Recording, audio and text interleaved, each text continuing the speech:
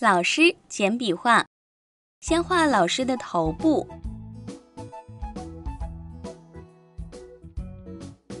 系上头发是个女老师，画上五官，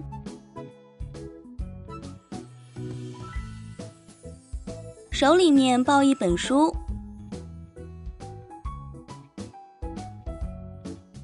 另一只手举起，拿着一根教鞭。然后画出老师的裙子和脚，给衣服加上花纹，给老师的头发涂上棕色，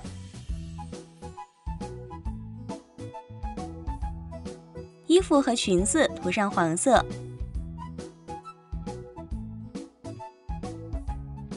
书本上画波浪线，眼睛颜色加深。嘴巴涂上黄色就可以了。